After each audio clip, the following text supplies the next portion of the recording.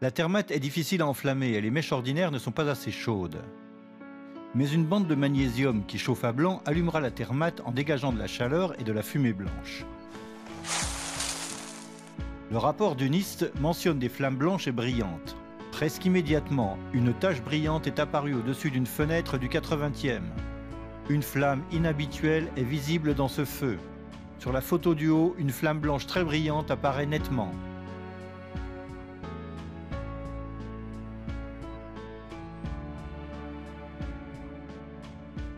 Et écoutons un témoin présent à ce moment-là. I was on the 81st floor. Tell me what you saw and heard. It just, I had 40 people in there, just explosion. Just a light flash out my, my window. My whole doorway to the entrance of my office blew open. Ces flashs blancs peuvent-ils provenir d'un dispositif d'allumage pour les matériaux thermitiques? En plus de produire de la chaleur et une fumée blanche, la thermate produit beaucoup de petites sphères de fer. Ces sphères de fer sont un résidu naturel de la thermate. Elles ne peuvent provenir d'aucun acier. Elles sont identiques aux sphères de fer retrouvées dans les poussières du World Trade Center. So here we go. This is magnesium reacting with air. You can see it's highly exothermic, gives off lots and lots of heat. Probably could, we're lighting a good portion of the room with that. And you'll see when it's finished, you take a look at my product. I'm just going to shake it up and you have to shake it. Did you notice the product here?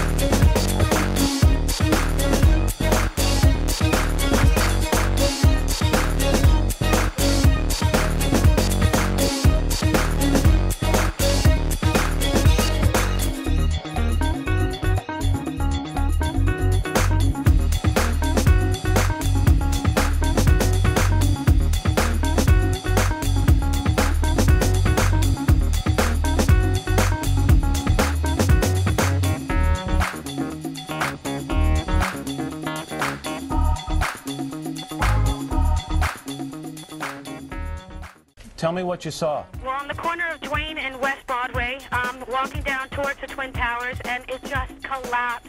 It looked like a, um, it looked sort of like the building just demolished. Smoke, clouds, I mean, smoke, clouds of smoke everywhere. Hours, Minna. Yes, hi, Matt. Tell me what you saw. Well, on the corner of Duane and West Broadway, um, walking down towards the Twin Towers, and it just collapsed. It looked like a, um, it looked sort of like the building just demolished. Smoke, clouds, I mean, smoke, clouds of smoke everywhere. People running towards me. I was going towards the Twin Towers. People going away from the tower, towards, away from the towers. I saw a live picture of what seemed to be a portion of the building falling away from the World Trade Center. Saw a live picture of what seemed to be a portion of the building falling away from the World Trade Center.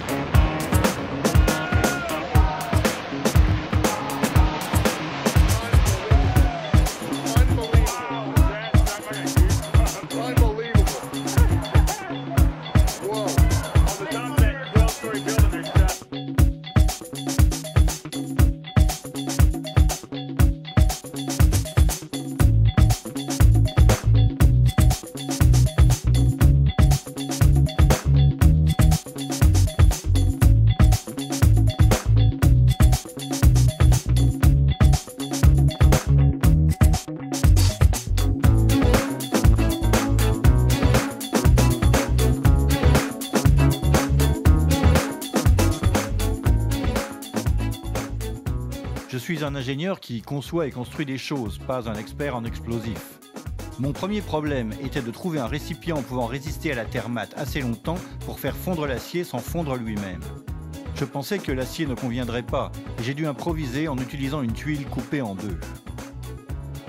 J'ai donc dû trouver une façon de la tenir contre le raccordement. J'ai utilisé de puissants aimants et le ressort d'une machine agricole pour plaquer 2 kg de terre mate de chaque côté du raccordement. J'ai allumé la thermate. Et elle ne fait absolument rien à mon assemblage. Peut-être en effet que la thermate ne peut faire fondre l'acier et que le National Geographic avait raison. L'acier n'a pas fondu et peut-être que finalement un récipient en acier aurait fait l'affaire. J'ai pris un tube d'acier, j'ai fraisé une rainure sur un côté et soudé le fond. J'ai utilisé des colliers de serrage en haut pour que la thermate soit maintenue à l'intérieur. J'ai vissé le tout verticalement sur une poutre d'acier. J'ai baptisé ce dispositif le découpeur thermitique. Avec seulement 700 grammes de thermate, soit moins de 1% de ce qui fut utilisé pour l'expérience du National Geographic,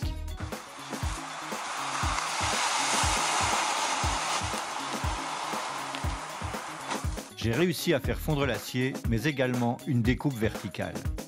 Alors j'ai fait un découpeur thermitique un peu plus grand et j'ai utilisé deux boulons vissés sur un côté du raccordement.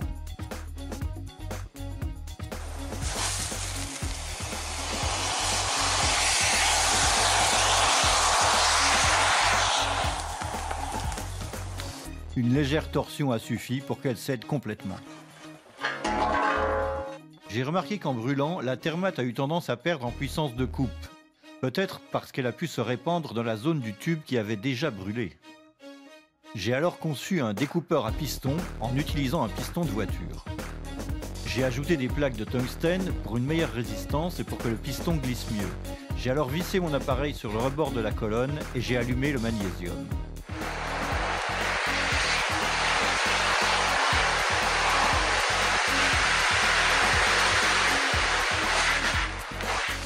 La thermate peut non seulement faire fondre l'acier, mais elle peut aussi couper des colonnes verticales. Mais pourquoi utiliser de tels incendiaires plutôt que des explosifs haute puissance?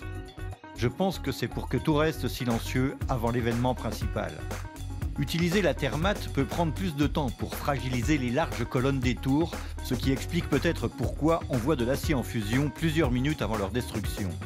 Ici, il y a à peine 800 grammes de thermate en train de brûler tranquillement, soit 1% de ce qu'a utilisé le National Geographic.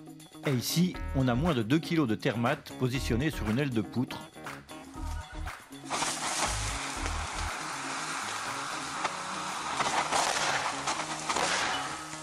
qui peuvent aussi être placés sur une colonne verticale. L'épaisseur de la paroi s'est réduite avec des trous béants aiguisés comme des rasoirs et l'apparence d'un gruyère. Le NIST a peu fait part des explosions, sauf pour affirmer qu'elles n'ont pas eu lieu. Ils utilisent des termes politiquement corrects, impulsion d'air comprimé, bouffée de poussière, des impulsions répétées d'air comprimé, les causes des impulsions d'air comprimé ayant provoqué les bouffées de poussière sont inconnues. Des séries d'impulsions d'air comprimé. Peut-être voyons-nous une impulsion d'air comprimé sur cette vidéo. Plutôt que d'utiliser un piston pour maintenir le volume constant, j'ai segmenté mon découpeur avec des plaques d'acier dans le but d'obtenir une combustion uniforme. Mais j'ai obtenu des résultats inattendus. La thermate peut-elle produire des impulsions d'air et des bouffées de poussière?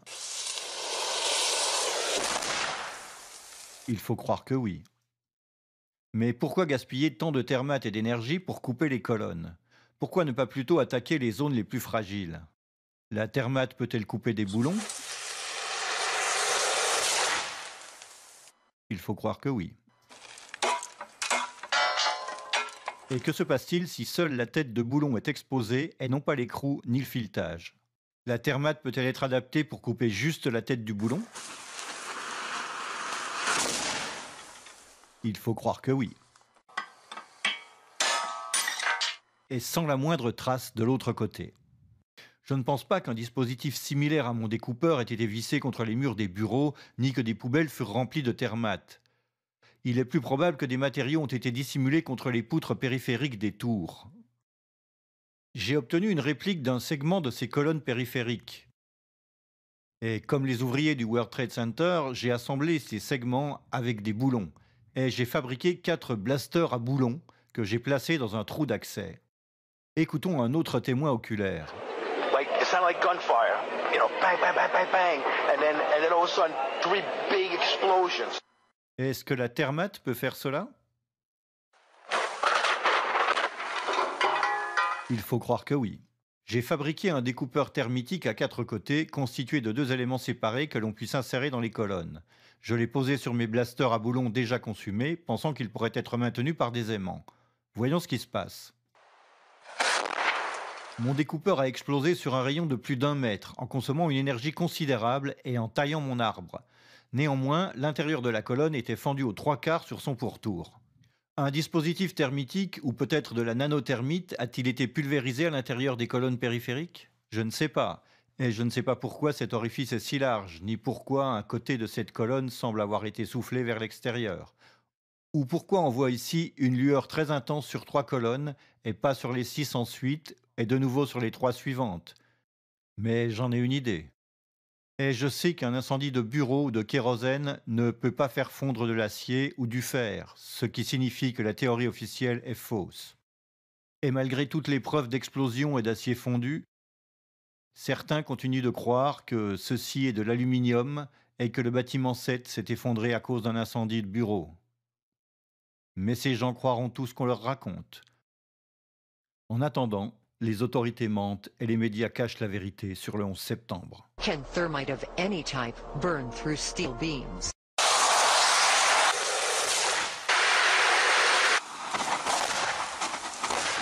Il faut croire que oui. N'est-il pas temps d'utiliser les sciences physiques plutôt que la science politique pour enquêter sur le 11 septembre?